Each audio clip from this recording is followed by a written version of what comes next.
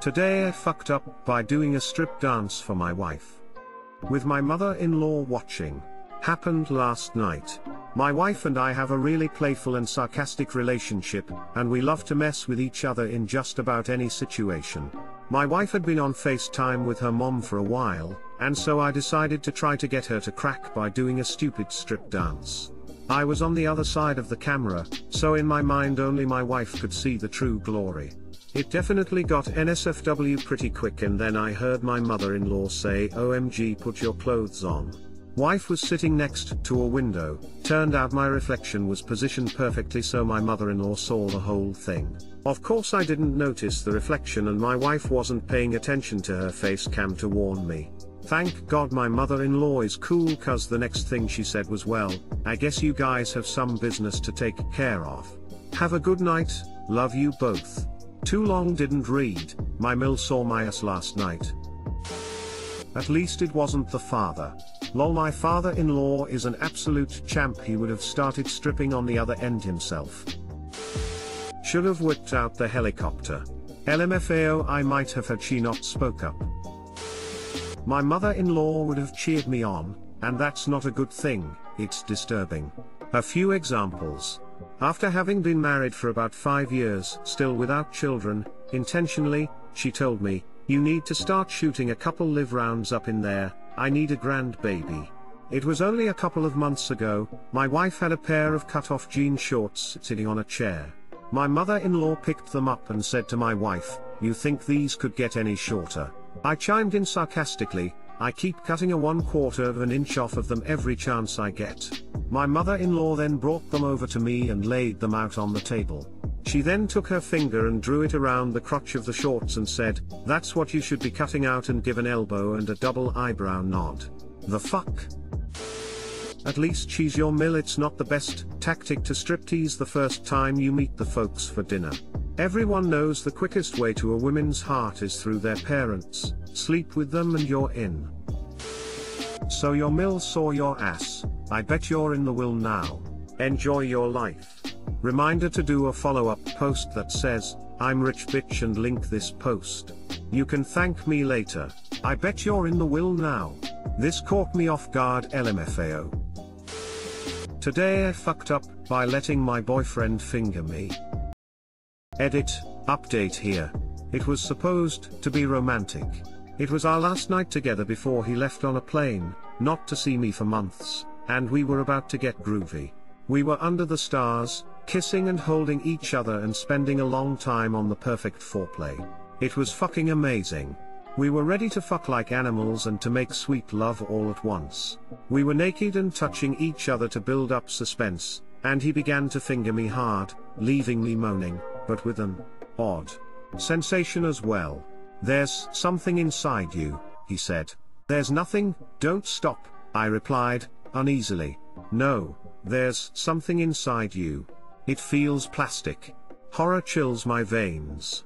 It had been about two weeks since my period. But I knew then that I had left my menstrual cup, basically a plastic cup for blood slash period gunk not to be left in longer than 12 hours, in for the past 14 days. Dot. Idiotically, I asked him to help me remove it so we could continue. Mother of God. It smelled like an eviscerated decomposing body mixed with rotting broccoli, sewage, and rotting eggs all in one. And the smell did not go away. I threw out the cup and its contents, but the stench of 14-day-old rotting blood and uterine gunk is not one that fades easily.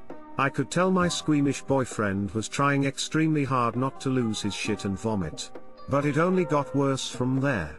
The stench would not leave, and it was coming from my vagina. To try and bring the mood back, I went to the bathroom to try and freshen up. He joined me, perhaps to make me feel less disgusting. Bad idea. With a feeling like an impending queef but somehow thicker, my vagina suddenly emptied a massive glob of this filth and it splattered a surprisingly large amount of brown rotted uterine filth all over my poor boyfriend's leg. He practically ran home. I probably don't need to say this, but you might want to see a doctor about that.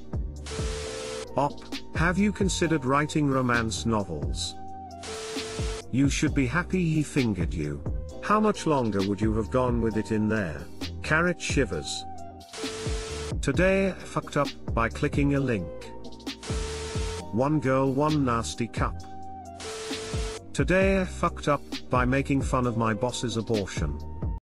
I, M26, share an office with my boss. I started a few months ago, and it was probably my second or third day when she seemed very ill and miserable, putting her head down on her desk etc. I asked her what was wrong and she said she was having really bad cramps. They must have been really bad, because she said she was going home early. I consider myself very sympathetic to the female condition, so naturally, I assumed she was just having a rough period. I said, well, hey, at least you're not pregnant. I laughed at my own comment and patted myself on the back for being such a relatable funny confidant for women. Several months later she told me that her cramps were so severe that day because she had gotten an abortion that morning. Too long didn't read, told my boss at least you're not pregnant thinking she was on her period when she had actually just had an abortion that morning. I mean, it was true. At least she wasn't pregnant. But I was still mortified and have removed this comment from my repertoire as I have said it to probably every woman who has ever told me they were having cramps. Edit, alright folks time to head out. Getting a little rowdy in here. This did actually happen but the way I wrote the post was a joke. Please read my comments for clarification, atonement, and acknowledgement of wrongdoing. Go easy on the actual hatefulness slash misogyny. Edit 2. Now that I am being tried before the mob I regret my tone and embellishment. I have not actually said this to every woman I meet. Just wanted to make the story funnier. We are similar in age and good friends and I apologized incessantly.